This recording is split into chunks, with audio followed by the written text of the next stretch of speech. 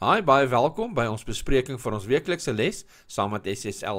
Ons is by ons eerste kwartaal vir 2023 en ons bespreking vir hierdie kwartaal is die meester se bestuurder tot hy kom.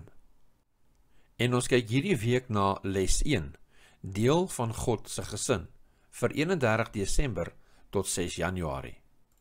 Ons geeteks vir hierdie week vind ons in 1 Johannes 3 vers 1 en dit lees soos volg: Kyk wat 'n groot liefde die Vader aan ons bewys het dat ons kinders van God genoem kan word. 1 Johannes 3 vers 1. Ek lees weer. Kyk wat 'n groot liefde die Vader aan ons bewys het dat ons kinders van God genoem kan word. 1 Johannes 3 vers 1. Kom ons bid saam. Hemelse Vader, baie baie dankie vir nog 'n nagrus waarin ons boet en bewaar het in hierdie nuwe dag. Hier waar ons weer die woord kan open en daaruit kan leer. Ons bid U, Gees van God, gee ons asseblief insig in U woord. Skryf dit op ons hart. Ons bid dit in Jesus se naam. Amen.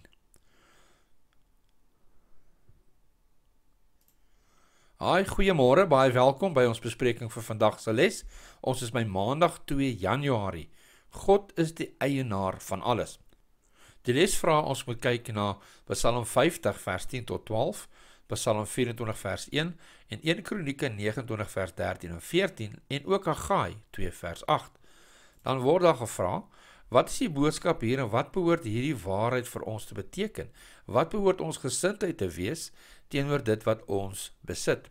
Nou Psalm 50 vers 10 tot 12 lees, want al die wilde diere van die bos is myne, die vee op berge by duisende. Ek ken al die voëls van die berge en wat roer op die veld is van my. As ek honger het, sal ek jou dit nie sê nie, want die wêreld is myne en sy volheid. En dan Psalm 24 vers 1, 'n Psalm van Dawid. Die aarde behoort aan die Here en die volheid daarvan, die wêreld en die wat daarin woon. En dan 1 Kronieke 29 vers 13 en 14. En nou ons o God, ons loof U en ons prys U heerlike naam. Want wie is ek tog en wat is my volk dat ons in staat sou wees om sulke vrywillige gawes te skenk? Want dit kom alles van U en uit U hand het ons dit aan U gegee. En dan Haggai 2 vers 8 sê: Aan my behoort die silwer en aan my die goud, spreek die Here van die leerskare. Nou weer eens die vraag is: Wat is die boodskap hier en wat behoort hierdie waarheid vir ons te beteken? Wat behoort ons gesindheid te wees teenoor dit wat ons besit. Ons lees in 1 Kronieke hoofstuk 17 waar koning Dawid 'n begeerte het om 'n huis vir God te bou. En hy gesels toe met die profeet Nathan hieroor en die profeet Nathan sê toe vir hom in 1 Kronieke 17 vers 2 doen alles wat in die hart is want God is met u. Maar daardie nag het God met die profeet Nathan gepraat en hom beveel om vir koning Dawid te gaan sê dat hy nie vir God 'n huis kan bou nie omdat hy 'n man was wat baie bloed op sy hande gehad het wat groot oorloë gevoer het. Maar God het gesê dat sy seun vir God 'n huis sou bou. Toe vra Dawid of hy ten minste die planne kon opteken vir die huis van God en die boumateriaal kon voorberei dit kon verskaf. En hierdie versoek is toe aan Dawid toegestaan. En Dawid het die res van sy lewe gewy aan die bymekaar maak van alles wat nodig is vir die bou van die huis van God. Gekapte klip, sederblokke, yster, goud, silwer en koper. En toe al die boumateriaal voorberei en by die bouterrein bymekaar gemaak was, het koning Dawid al die leiers van die volk bymekaar geroep om 'n seremonie van lof en danksegging te roep.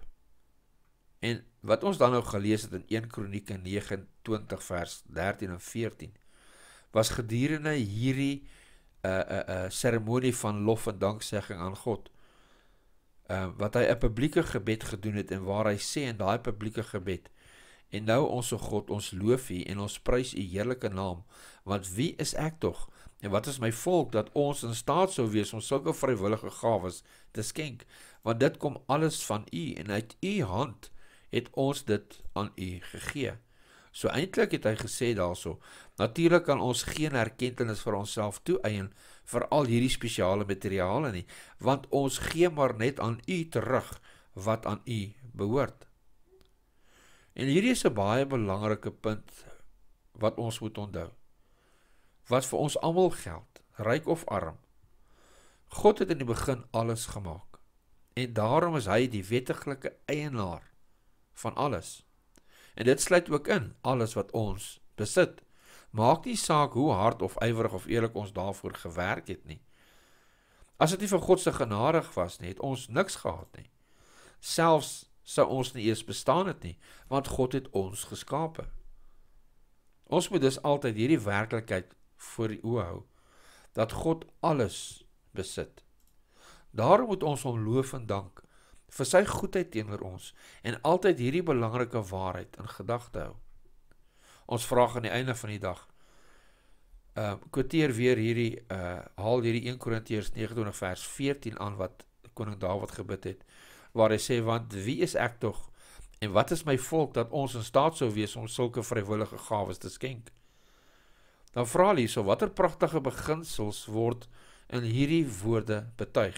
En hoe weerspieël dit wat ons gesindheid teenoor God moet wees en ook ons gesindheid teenoor wat ons besit en hier kom die nederigheid van koning Dawid tevore hy het wel baie bymekaar gemaak maar hy het nie daai groot rykdom aan homself toegeken nie, maar hy het al die eer aan God gegee, hy het nederig gebly.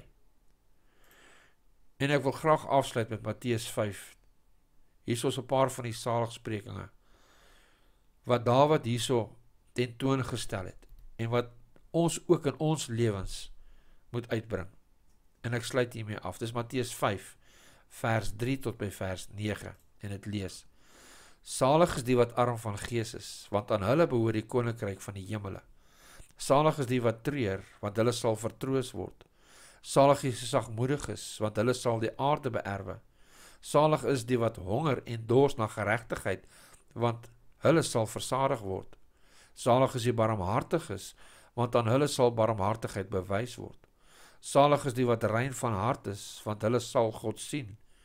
Salig is die vredemakers, want hulle sal kinders van God genoem word. Kom ons bid saam. Hemelse Vader, wat 'n pragtige eienskap wat koning Dawid hierso voorgebring het deur te sê Here, daar's niks in ons nie, alles kom van U af. Heer, gee ons ook asseblief daai gesindheid dat ons sal weet en besef dat alles wat ons besit, Here, kom uit U hand uit. En dis nie omdat ons enigstens goed is nie. En as ons goed is in iets, Here, dit kom ook van U af. En Here, ons wil U vandag loof en prys daarvoor en aan U al die eer gee. Dankie ons Here vir U seëninge elke dag. In Jesus se naam. Amen. Baie dankie dat julle saam ons ingeskakel het vir vandag se les. Tot volgende keer. God se ryke seën.